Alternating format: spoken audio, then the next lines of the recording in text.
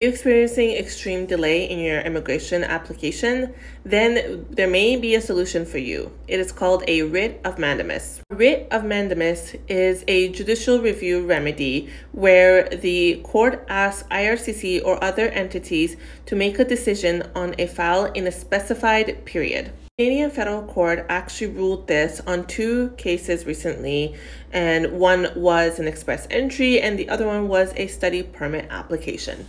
In one case, the applicant asked the federal court to have IRCC make a decision on their permanent residence file, which was filed in 2016 and it is now over six years that it has been filed and sent to IRCC. The court found that the family actually met the um, requirements for a mandamus of right, and the delay was unnecessary and unacceptable. The court also found that IRCC couldn't provide a legitimate explanation why the application was taking so long. However, for the study permit application, the court found in favor of IRCC applicant wanted to pursue his PhD in the University of British Columbia and he submitted his um, application in 2021. Court ruled that the applicant could not demonstrate that he suffered significant prejudice as a result of the delay as he was able to start the program remotely in China. In addition, there was no serious prejudice as it was always remains open to him to pursue studies elsewhere.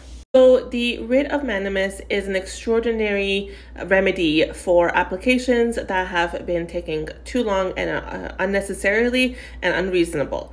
However, one thing that you should know is that an immigration consultant cannot help you with this process.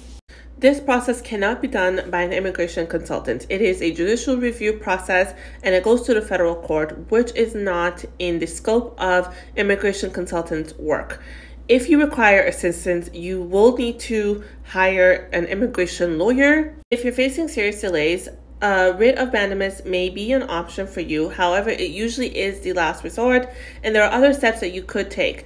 And that is why it is a good idea to have a consultation with an immigration lawyer who can help you better through your process.